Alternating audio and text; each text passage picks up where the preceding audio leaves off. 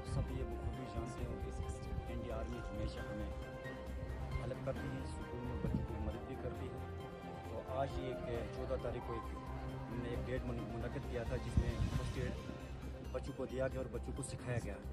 तो जिसमें India army plus हमारे स्टाफ भी मिलकर बच्चों को थोड़ा मेडिकल सिस्टम के बारे में सिखाया गया। फ़र्स्ट एड कैसे दी जाती है?